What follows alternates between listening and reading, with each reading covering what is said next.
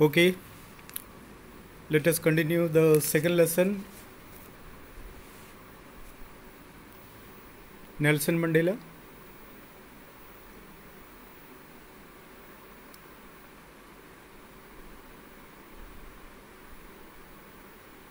There is a poem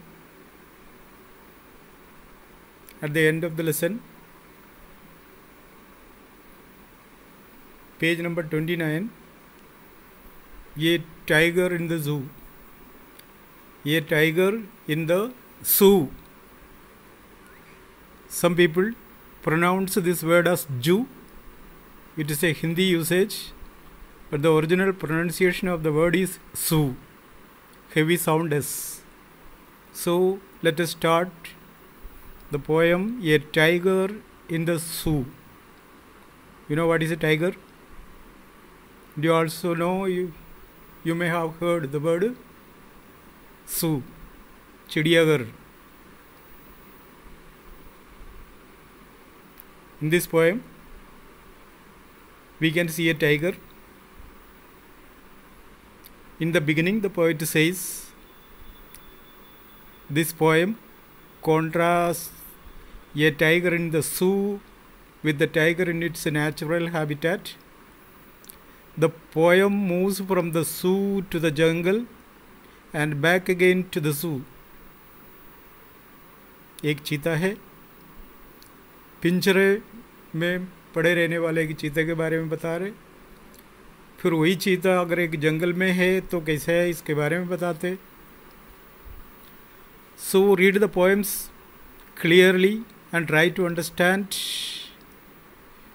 which stand speak about the tiger in the zoo and which one speaks about the tiger in the jungle. Jungle mean forest. Stanza means a group of uh, lines in a poem is called stanza. Normally people pronounce this word as stanza it is not a stanza but it is stanza just like a sue okay? So read the poem clearly. Try to understand which stanza tells about the tiger in the zoo and which one tells about the tiger in the forest. Okay the poem is written by Leslie Norris. Leslie Norris. You have to learn by heart the name of the poem and the poet because sometimes a question will come like this. You will get a, some lines from a poem and the question will come like this what is the name of the poem and the poet. So you have to learn the name of the poem and the name of the poet by heart. Okay. So let us start the poem. He stalks in his vivid stripes the few steps of his cage, one parts of velvet poet in his quiet rage. He stalks, his walks.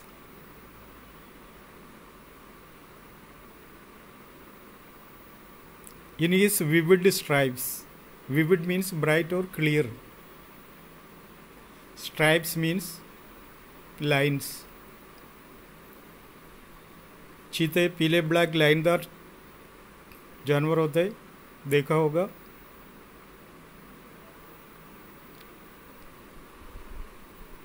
So the tiger in this poem stalks in his vivid stripes the few steps of his cage कहाँ चलता?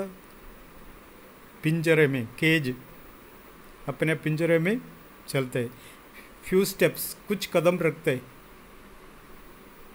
the few steps of his cage on parts of velvet quiet in his velvet in his quiet rage.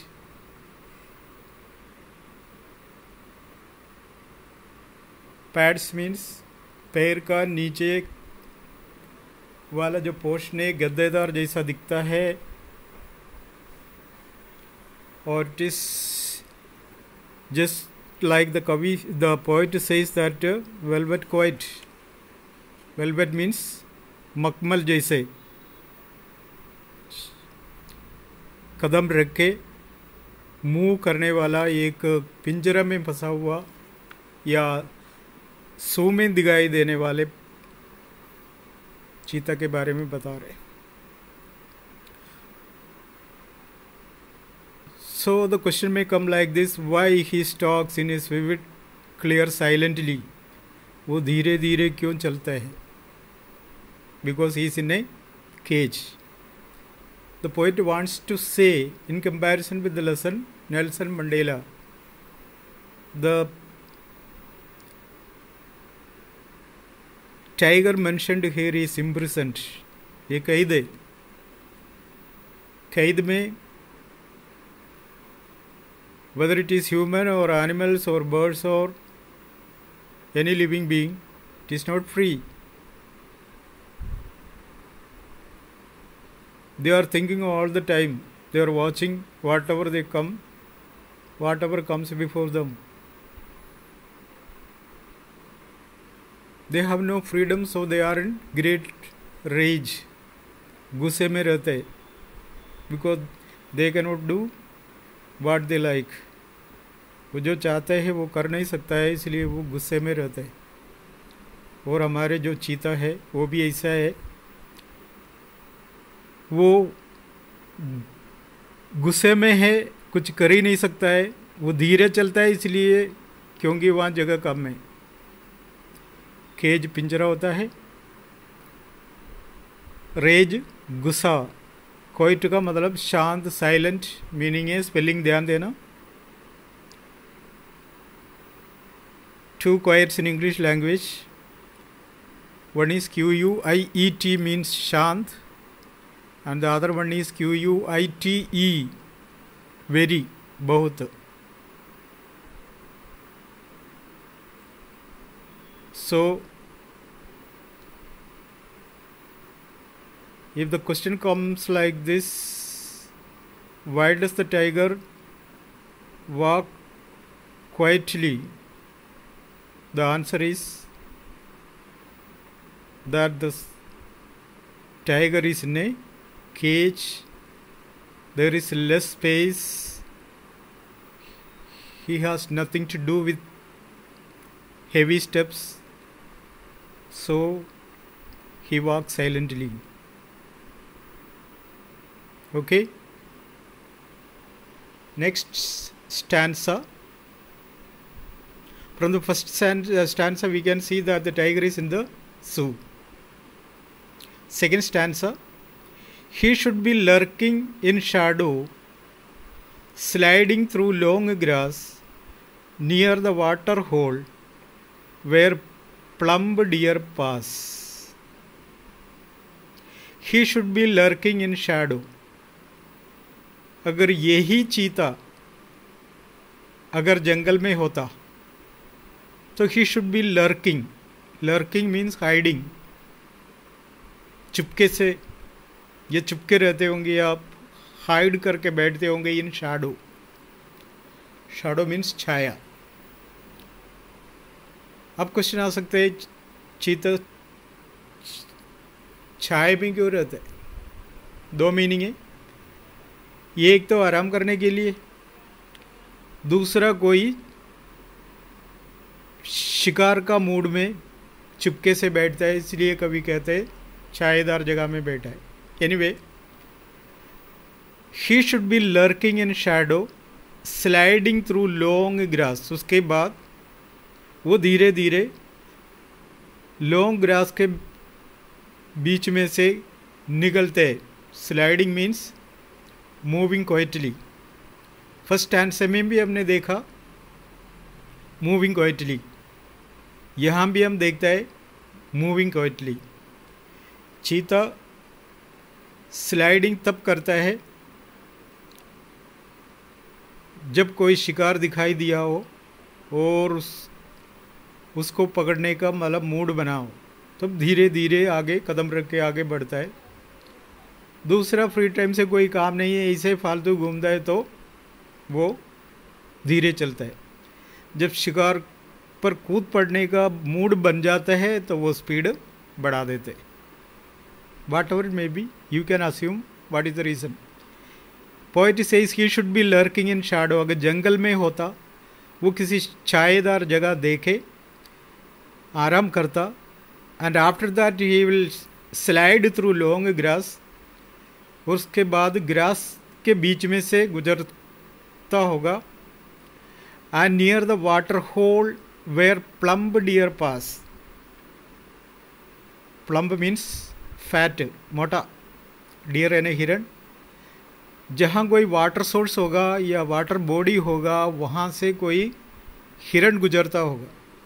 हिरण का के लिए water source के उधर से गुजरते हैं तो बोलने की ज़रूरत ही नहीं है। पानी पीने के लिए। वो छाएदार जगह है और इसलिए चीता भी वहाँ है। और दूसरी बात, उस चीता को पता है, यहाँ हिरण आते हैं तो मैं आराम से उसको पकड़ सकता है। ऐसे ऐसे मीनिंग निकलते। When we go through the lines एक एक लाइन का गहराई में जाए तो we will get a lot of meaning many meaning will come in our mind लेकिन हम तो केवल लाइन पढ़ के उसका मीनिंग समझ के आगे बढ़ता है। To simply think about the line at the inner meaning what is the what are the possibilities there for writing this line etc etc he should be lurking in shadow sliding through long grass near the water hole where plumb deer pass यही चीता अगर कोई जंगल में है तो ऐसा छायादार जगह में चुपके से बैठ के कोई हिरण वहाँ से निकले तो उसको पकड़ने का मूड से वो चुप चुप के आगे बढ़ता हुआ नज़र आएगा। So the second stanza shows the tiger in a jungle stanza third he should be snarling around houses at the jungle sets snarling means the हार्डनम around houses घर के चारों तरफ़. एट द जंगल सेट्स जंगल के आखिरी सीमा में जो घर है, उसके चारों तरफ़ घूमता होगा. कैसे? दहाड़ते हुए. वो घर के चारों तरफ़ क्यों दहाड़ते? तो हम आइडिया लगा सकता है, अपने मन से कोई ज़रूरी नहीं है ऐसा हो. वो यही है हो सकता है वो किसी शिकार का पीछा किया और उसका हाथ से वो फिसल गया। इसलिए उसको गुस्सा आ रहे इसलिए वो दगाड़ते घर के चारों तरफ़ घूमते जो जंगल के आखिरी सीमा में है। वो भी कैसे दहाड़ते समय ये चीज़ें अपन को देखना है। His white fangs his claws terrorising the village bearing यानी शोइंग इधर का मतलब। हिस वाइट फैंग्स फैंग्स है ना? लंबे लंबे टीथ होते हैं उसके, वो। हिस क्लॉस उसके पंजे। क्लॉस वैसे पैर में जो नाखून होता है बड़े बड़े थीके तो उसी को कहते क्लॉस उसको गुस्सा आते समय वो दांत भी दिखाते ये पंजे भी आगे करके चीर फाड़ने का मतलब इशारा करते सो so, इस तरह से वो जंगल के किनारे में घर के चक्कर काटते समय अपने बड़े बड़े दांत दिखा के और पंजे आगे बढ़ा के क्या करते हैं? टेरराइजिंग द विलेज टेरराइजिंग यानी फ्राइटनिंग डराते किसको? The village the village means the people of the village गाँव के लोगों को क्या करता है? वो डराते हुए नज़र आते। अब मीनिंग मिल गया ना। क्यों डराते हैं? क्योंकि वो किसी शिकार का पीछे हो लिया होगा, उसके हाथ से वो निकल पड़े। तो इसलिए ऊपर वाले लाइन में लिया वेयर प्लम्ब डियर पास जहाँ से वो गुजरता है, पकड़ने का कोशिश किया होगा, मिले नहीं। और इसलिए वो गुस्से में जो घर दिखाई दिया, उसके चारों तरफ़, उसको मालूम है घर के अंदर लोग है, और उसको डराते इसका मतलब ये तुम लोग बाहर निकलना मत, मैं गुस्से में हूँ। मैं जो काम करना चाहा वो हो नहीं पाया। अगर कोई बाहर निकला तो मैं पकड़ लूँगा भैया। इसलिए अंदर ही रहो। इस तरह से डराते हुए नज़र आते हैं। So in the third stanza we can see the tiger in the forest again and the next stanza, but he is locked in a concrete cell. लेकिन यहाँ जो चीता फर्स्ट स्टैंडसा में बताया उसकी स्थिति देखो जंगल में he is totally free he can move around anywhere even around the houses and he can move through the length and width of the forest. The space is so large there but in the first stanza we have seen the place is so less so he is moving very slowly. And then, but he is locked in a concrete cell. Locked means imprisoned. कैद कर रखा है concrete यानी पक्का cell यानी cell means room होता है इधर का मतलब केज पिंजरा ये जो पिंजरा है वो तो सेल इसलिए कहा सेल उसको कहता है छोटा सा रूम चीता को रखने वाला जो कमरा है, वो पिंजरा है, वो छोटा होता है। और सेल को बहुत सारे मीनिंग है, जैसे पौधों में दिखाई देते साइंस में पढ़ते जो हमारा मोबाइल में सेल है तो बहुत सारे सेल है, वो सेल अलग है, और इधर का सेल रूम केज इधर चीता के सिलसिले में है सू के सिलसिले में है, और इसलिए we can understand that this is a cage but he is locked in a concrete cell. वो कॉन्क्रीट शब्द इसलिए बताया क्योंकि उसका जो पिंजरा बिल्कुल पक्का होना चाहिए, मज़बूत होना चाहिए। सीमेंट और ईट वगैरह जो लोहे वगैरह फिट करके सही तरीके से बनाते हैं, वरना तो वो तोड़ के बाहर आ सकता है। इसलिए इधर कहा है concrete he strength behind bars उसका ताकत, कितना ताकतदार प्राणी है? चीता। लेकिन वो इस पिंजरे में अपना ताकत को सलाखों के पीछे रह के चुप बैठा है। And his strength behind bars उसका ताकत पिंजरे के अंदर सलाखों में खेद कर रखा है। Stalking the length of his cage ignoring visitors वहाँ लोग आते रहते हैं। उसको देख के वो क्या करता है? Again the word is there stalking stalking means walking वहाँ भी धीरे धीरे चलता है बताया। क्योंकि पिंजरा में धीरे धीरे चलने का मतलब उनको मालूम है वो शिकार होते हुए भी क्या नहीं होता, उसको पकड़ नहीं सकता है because he is in the cage इसलिए उसका ऊपर कोई इशारा दिखाने से भी कोई फ़ायदा नहीं अपना जोश दिखाने से, अपना ताकत दिखाने का कोई फ़ायदा नहीं है। इसलिए बेचारा वहाँ भी क्या करता है, धीरे धीरे घूमते वो इग्नोर करते हैं हाँ तुम आ गया तो आ गया आओ जाओ, घूमते रहो भैया। मैं तो यहीं रहूँ। अगर मैं बाहर होता है ना, मैं बता देते, तुम कैसे घूमते मेरे सामने से इसे? और इस तरह के विचार के साथ वो वहाँ पर बैठता है। So again we can see the tiger in the zoo and last stanza he hears the last voice at night the patrolling cars वो पिंजरों में बैठे बैठे रात हो जाता रात को वैसे ये तो शिकार करने के लिए निकलने वाले प्राणी हैं, लेकिन पिंजरा पिंजरा में रह के और जू में रह के वो कुछ भी नहीं कर सकता है, इसलिए तो चुपचाप बैठा। रात हो गई, रात को उसको सोना है, आराम करना है। He hears the last voice at night the patrolling cars वो आखिरी आवाज़ सुनते हैं किसके? पेट्रोलिंग करने वाला कार के। गश्त लगाने वाले गश्त पर आने वाले जो गाड़ी है, उसको देखता है। और सू में, रात होते ही सारे जानवर को देखने के लिए एक बार गश्त लगाते हैं, जो अधिकारी लोग। और इस तरह से इसका भी जाँच करने के लिए बस गश्त पर निकली जो गाड़ियाँ हैं, वो आ जाते हैं। And stares with his brilliant eyes at the brilliant stars कुछ लोग पेट्रोलिंग को पेट्रोलिंग होता है। पेट्रोलिंग नहीं है। Patrolling patrolling P E T R है या तो। पी ए टी आर अपने गश्त लगाने के लिए पुलिस की गाड़ियाँ निकलती है ना। रात को, दिन में भी निकलते हैं, हाईवे भी निकलो तो पूरा देखने को मिलेगा। तो उसको पैट्रोलिंग कहते हैं। तो सी द प्रोनाउंसिएशन वर्ड का प्रोनाउंसिएशन बहुत इंपॉर्टेंट है।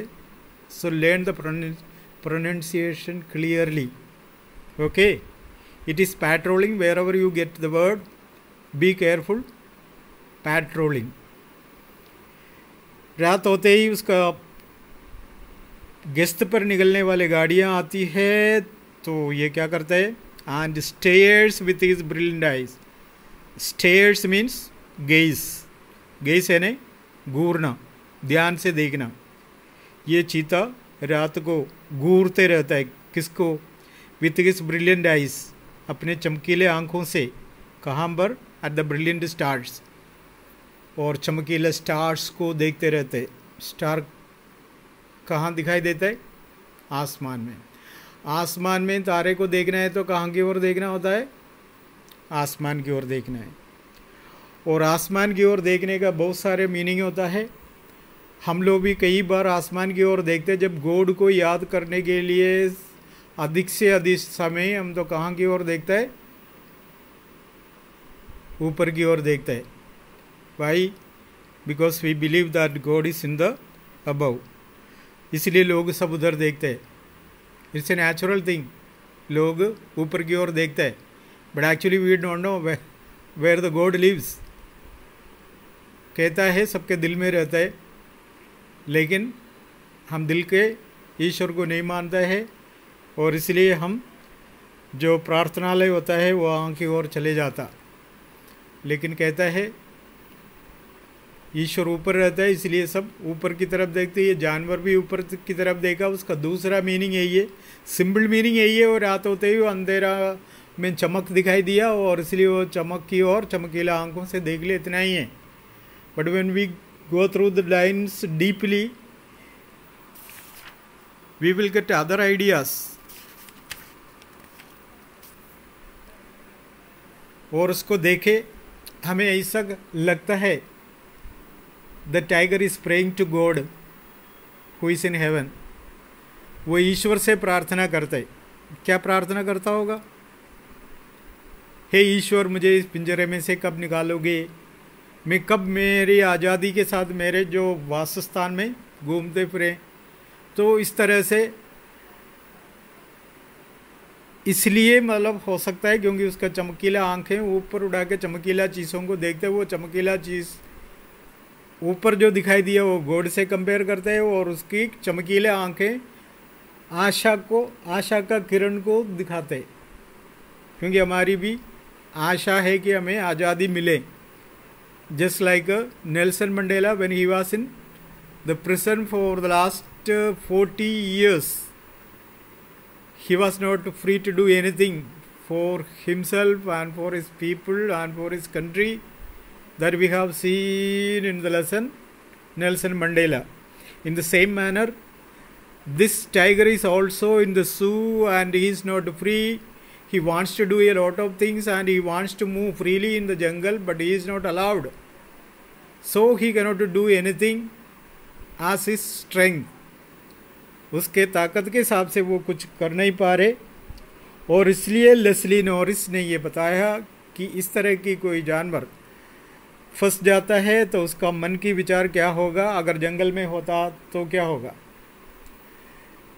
लेकिन कभी ये भी बताना चाहता है, ये भी याद दिलाना चाहता है कि आज़ाद प्राणी को कभी कैद नहीं करना है whether it is human whether it is birds it is animals whether it is other animals whoever it may be और वाट एवर इट मे उसको कभी कैद नहीं करना चाहिए क्योंकि वो अपने आज़ादी से रह नहीं पाता है। तो हमें भी आज़ादी नहीं है इस तरह से। When we are in the school, when we are in the house, when we go outside, everywhere we are not totally free. Restrictions are there, whether it is in the school or house or wherever it may be. So so, वो हम नहीं चाहते कभी हम तो ये चाहते हैं we want to move freely we want to get complete freedom but even the society does not allow the freedom totally to any human beings हर तरह की प्रॉब्लम है the same problem the people the humans face the same problem is facing by the animals and other living beings. So in my opinion it's a wonderful and uh, interesting poem. I don't know what you think but i like the poem very much. So learn the poem read the poem. If you can learn the poem by heart when the lines come for the examination we have to assume from which poem the lines have been taken. And we have to give the name of the poem and we have to give the name of the poet. And when we learn the title of the poem and the name of the writer remember one thing spelling must be clear. If the spelling is wrong you will lose one mark. Be careful. Whatever may be the word when you learn you have to learn the spelling thoroughly Remember this. Leslie Norris is here. Learn the spelling, learn it by heart, keep in your mind, don't allow it to fade away from your mind. So, work out like this, and you will get new new ideas beyond from my thoughts if you give more importance to these lines. Okay?